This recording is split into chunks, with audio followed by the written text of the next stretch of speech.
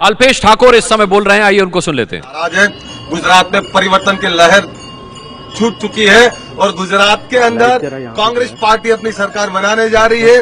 Bharatiya Janata party का करारा पराजय होने जा रहा है और गुजरात के अंदर कांग्रेस पार्टी नवसर्जन के साथ नई सरकार बनाने जा रही है।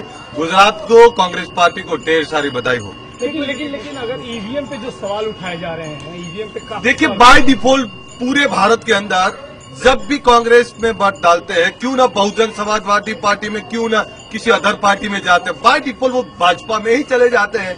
यानी ईवीएम में गड़बड़ी तो है, और अगर चुनाव आयोग निष्पक्ष चुनाव चाहता है तो वीवीपैट लगाया है। आप क्यों ना वीवीपैट का भी कहना, गिनती कर लेते हैं?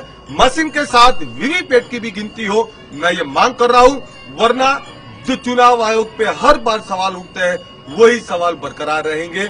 चुनाव आयोग अगर चाहता है लोकतंत्र और लोकशाही को बचाना प्रजातंत्र के अंदर निष्पक्ष चुनाव की बात करता है तो वीवीपैट की भी गिनती कर लीजिए मशीन की भी कर लीजिए। अगर नतीजे आपके पक्ष में नहीं आए तो क्या ईवीएम देखिए हमारे ही पक्ष हमारे ही पक्ष में आएँगे।